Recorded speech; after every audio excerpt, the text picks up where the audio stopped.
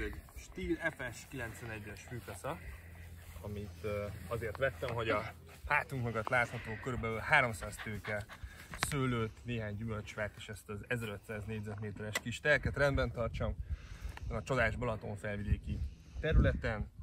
Nagyon szeretem a gépet, mindig érdemes százos benzinnel és szintetikus stílolajjal használni, mert így ez a hobbi felhasználásnak is tökéletes, mindig beindul, nem kell túl sokat karbantartani fölöslegesen.